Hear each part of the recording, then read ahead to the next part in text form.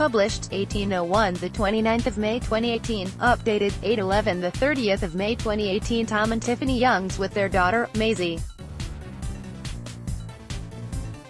Picture, courtesy of the Youngs Archant rugby star's wife whose blood cancer is now in remission adopted a radical new regime which included taking cannabis oil and not eating during certain hours of the day, she told Sky News. Tiffany Youngs, the wife of Leicester and England star Tom Youngs, was diagnosed with Hodgkin's lymphoma in 2014 and was told last year that the illness would be terminal. However, after heading to hospital in February her consultant said she was in remission.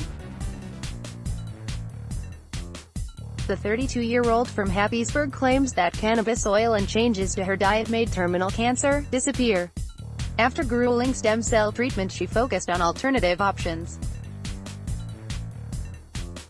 She only ate fish, took cannabis oil and cut milk, red meat, sugar and caffeine out of her diet while starving herself between 7 p.m. and midday. She also used an ENS Cosmodic machine treatment, which uses metal prongs to send electric pulses into the body to stimulate cells.